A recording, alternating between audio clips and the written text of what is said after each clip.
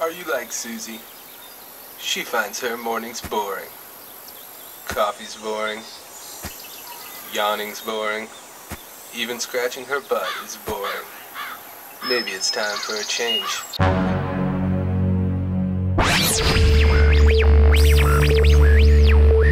If it rocks, If it rocks, it's 93.3. the planet.